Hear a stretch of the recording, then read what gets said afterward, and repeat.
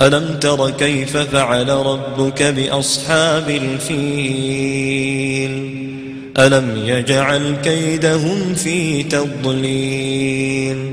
وأرسل عليهم طيرا أبابيل ترميهم بحجارة من سجيل فجعلهم كعصف مأكول.